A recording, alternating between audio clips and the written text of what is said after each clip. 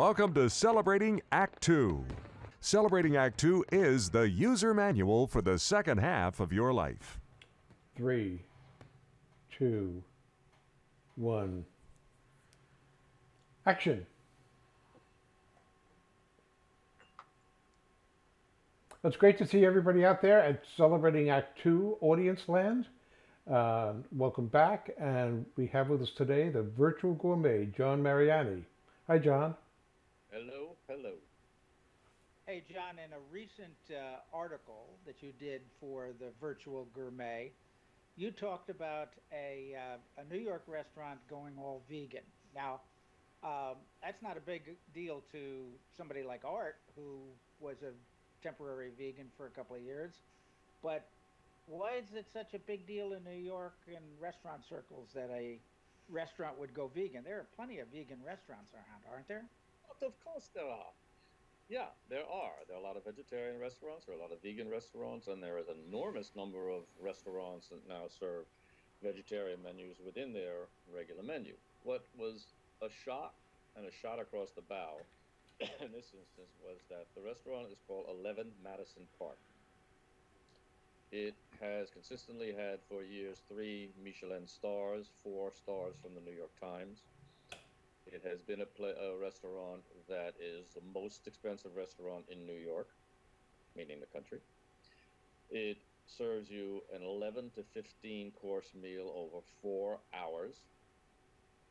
And the wine list, I mean, you're not going to get it, it, it costs, I believe, $335 for the food and then when you put the bottles of wine on top of that, you're talking like seven, eight hundred dollars a person to eat here. And it was extremely popular with those people who just go for the curiosity factor, for visiting gourmands from Asia and, and Europe, um, and for the occasional uh, uh, fun fun guy. Uh, what do they call them? Fun guys. What do they call? fun guys you know, celebrating they just closed a $20 million deal, so let's go there. This presupposed, of course, that everybody wanted to spend four hours eating 11 courses. So when they opened, it was a pretty, when, they first opened, it was run by Danny Meyer, and it was a pretty standard restaurant, a la carte, so about American great food. Daniel Humm took it over. He was the chef at one point. He took it over and owned it with a partner and with investors. And they decided, wouldn't it be fun to have this 15 course menu and all of this? But also, why don't we have the captains go around and do card tricks at the table? Wouldn't that be amusing? Um, and that didn't last so long. So that was the first clue that they're into gimmicks at this place. Last time I went there, under duress, frankly, because I don't like 15 course meals, the seventh course in was they brought a basket and dumped clams onto a brown paper um, a tablecloth and had this. This is our New England clam roast, um, which at that point in the meal struck me as an odd seventh course, um, good as it was. And what do you what do you drink with that? So this was what it was. So COVID hits, they shut down like everybody else. So coming back online and maybe fearing that fine dining of the kind that he was doing was not be popular again, he came up with this. I think it's sheer gimmickry, even if he's gone vegan. Um, that 11 Madison Park will be entirely vegan, with two exceptions: um, honey, which is made by bees, animals, and cream for people's coffee, which is also comes from cows, which are animals. That he's allowing, but everything else will be vegetable. Uh, and it's going to be again 15 courses for 335 dollars 335 dollars for uh, peas and carrots and seitan instead of meat and so forth all right. No matter how you feel about your own personal desire to eat that food and i'm sure it's really going to be the best peas and carrots you ever had i have no problem whatsoever with vegetarians as a, as a life choice.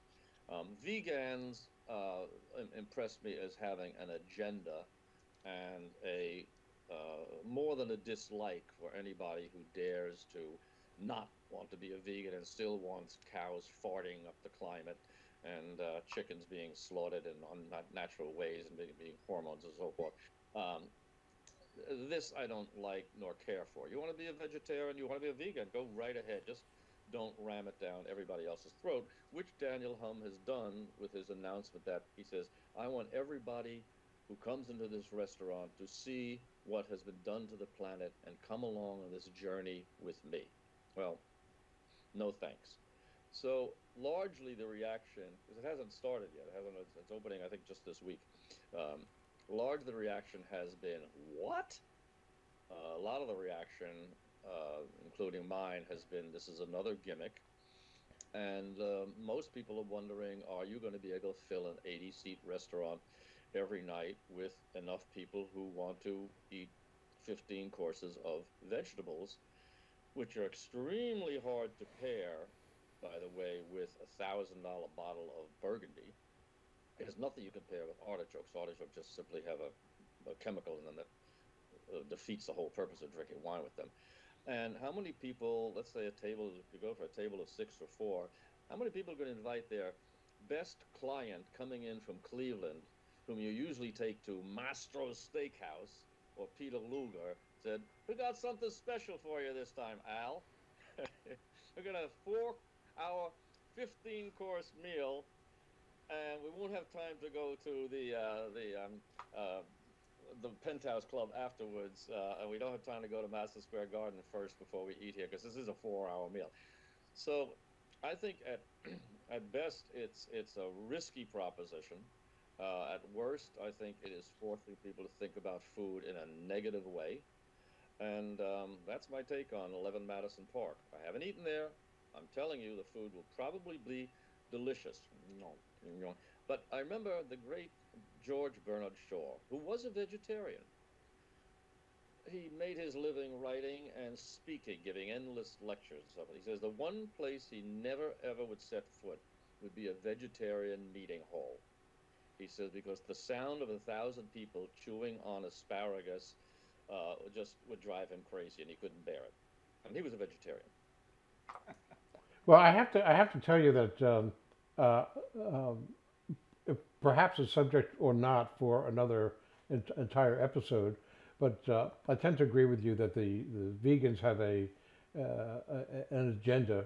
Uh, vegetarians uh, and I I've straddled both, but makes far more sense to me. But if I'm going to spend three hundred dollars, I'm going to go to Native Foods on 20 different nights and get a really fine uh, meal uh, that's uh, vegan, if you will. They do a very good job. That's here on the West Coast. Uh, but in any event, I I suspect that uh, even no matter how fresh their weeds are, uh, this restaurant is not going to make it in New York. Yeah, there are. There is a restaurant in Paris which was a predecessor, a place, Alain Passard's restaurant called Arpege and his was a tasting menu, um, and he became known for his vegetable dishes, which were delicious. He did a like a candied tomato that was everybody. It was a signature dish. It's absolutely exquisite. But he also had fish and he also had meat. Well, he decided some years ago to do this. He was going to go all vegetarian, uh, but he was going to have some cheese and he was going to use some eggs and so forth. not totally, but he found out very soon. Why don't I offer the vegetarian menu right alongside a menu a lot of my other customers might want to eat, which is fish and meat and chicken, which he does. And to me, that's perfectly sensible and is being done all over the United States, all over the world. Um, I ate at a vegetarian restaurant in India once, in the city of Jaipur. I was wearing this shirt, this is my Indian safari shirt, and uh, vegetarian restaurant, but their idea of vegetarian was all vegetables and huge amounts of clarified butter and yogurt. I didn't eat again for 24, 36 hours. This is the richest food I've ever had in my life, and it was delicious. But boy, oh boy, I could not eat that all the time. So yeah, you want to you want to serve a menu with over here you got the, the steak and over here you got the vegetables. Fine, I'm probably going to order from the other side of the menu a, a lot of the time. Usually my lunch. It does. Mm. It it does seem that. Um, sometimes the politics gets in the way of good food. Well, right now we're seeing all sorts of things happening in the media that I think I don't want to say it's uh, oh yeah uh, um, Epicurious says they will no longer have any beef dishes as reci- beef recipes. Hmm. I mean, published by Condé Nast, and I think this is ridiculous too. Um, and some of the other magazines are shying away and doing more vegetable dishes, which I applaud, very, very much so. Um, but at the same token, they have, the, the next article is why we should be eating bugs and fungi, and why we should be eating um, a, a, a, what do you call it? The, you know, you know fu- fungus and stuff that grows mold. Um, these are this is crazy stuff. Um, I know that there are people in New Guinea who lift up a rock or an old log and say, "Dinner," you know. And I was in Mexico City once, in which all of the food was served. at a place called El Chola. All of the food was served that was uh, pre-Columbian. It wasn't vegan, but because they didn't have, but they didn't have, they didn't have beef, they didn't have cattle, they didn't have pork, they didn't have chicken, they didn't have anything. They had some dogs, and they had mountain lions. So they actually served us mountain lion, monkey brains, and maggots. Um, Ooh, maggots. oh, I said this. I've had maggots for lunch. I'm not going to have them again tonight. But the, the stupid thing was, I'm looking around the, the, the dining room, and all the Mexicans in the room, not the stupid gringos, uh, eating tacos, tortillas, and you know, carne and stuff. so they were smart enough to say, okay, here's our gimmick.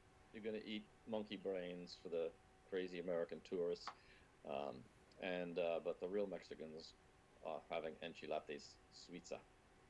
Yeah. Well, I would imagine, John, that uh, like any industry, uh, there are some people who need to call it a gimmick, or I'll call it pushing the envelope. They need to experiment to the extreme just to get the attention, and that might be the case. Noma, which is uh, ranked in certain quarters as the greatest restaurant in the world, you know, I don't think it's open anymore. Um, well, they may have reopened. Um, they would do things and put out press releases. We are serving live ants, and justify. Oh no, they have a wonderful citrusy taste and full of protein and full of protein. You have to eat seven pounds of ants to get enough protein out of them. But I mean, and they had the photographs and the video, and these idiots would go to the restaurant and have the ants and say to themselves, "Well, they're not so bad," you know. so there are no ants on Noma's menu any longer. Well, maybe we, at this point we could commit to not ever doing an entire episode on fungi, fungi fungus uh, meals, uh, nitrogen meals, Ah, and uh, let's pick out something else that would be uh, and monkey brains. monkey brains. So, uh, uh, can we now commit that we're never going to do an entire episode on that? It'll be a short Uh, episode. or- or anything with more than four legs. Ooh. And we could start off the episode with me looking like this. And with that, and with that pleasant uh, vision, we thank you this time. Until next time. John, thanks a lot. We'll My see you soon.